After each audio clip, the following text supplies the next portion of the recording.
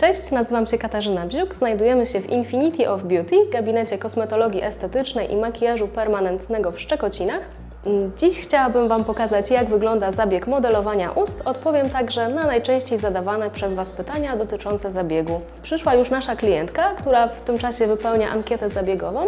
W takiej ankiecie pytamy o przeciwwskazania do wykonania zabiegu, dlatego żeby upewnić się, czy możemy bezpiecznie przeprowadzić taki zabieg. Modelowanie ust jest obecnie jednym z popularniejszych zabiegów estetycznych. Decydują się na niego zarówno osoby młode, które chcą nadać kształt i objętość swojej czerwieni wargowej, ale także osoby w wieku dojrzałym, które wraz z upływem czasu utraciły kontur oraz objętość czerwieni wargowej. Wypełniłyśmy już ankietę zabiegową, omówiłyśmy jaki chcemy efekt uzyskać po takim modelowaniu. Teraz będziemy nakładać sobie e, krem znieczulający, aby znieść doznania bólowe. Następnie przeprowadzimy zabieg, e, klientka uzyska zalecenia po takim zabiegu e, i będzie mogła cieszyć się nowymi, pięknymi, pełnymi ustami.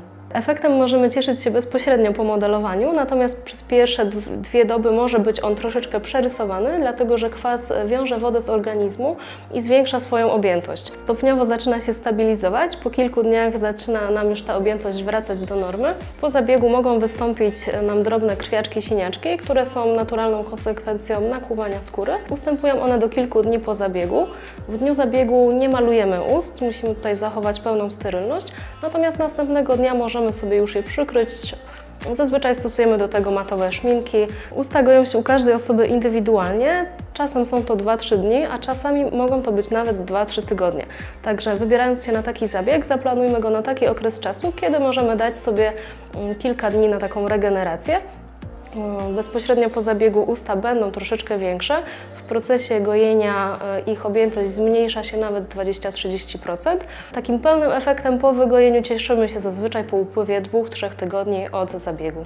Zabiegi modelowania ust są troszkę odczuwalne, dlatego aby rozładować emocje mamy piłeczki antystresowe, które możemy sobie ściskać. Piłeczki antystresowe odwracają uwagę od wykonywanego zabiegu, dlatego nie jest on aż tak bardzo odczuwalny.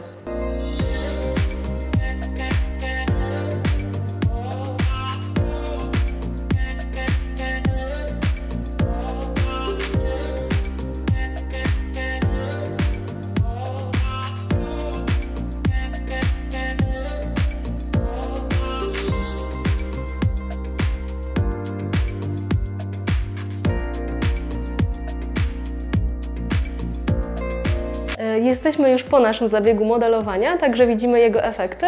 E, usta są e, nawilżone, jędrne, łuk kupidyna zaznaczony, kontur ust podkreślony, klientka zadowolona, a to najważniejsze. Teraz przez około rok będzie mogła się cieszyć pełnymi ustami. Czy zabieg był bardzo bolesny? Nie, wbrew pozorom nie, gdzie mój próg bólu jest naprawdę bardzo, bardzo duży. także Wiedziałam, że jestem w dobrych rękach. Przede wszystkim bardzo ufam Pani Kasi e, i jestem bardzo zadowolona. Super, bardzo się cieszę. Dziękuję. Ja również dziękuję. Dziękuję serdecznie za obejrzenie odcinka. Zachęcam do subskrypcji kanału. Jeżeli macie jakiekolwiek pytania, piszcie w komentarzach. Widzimy się niebawem. Cześć!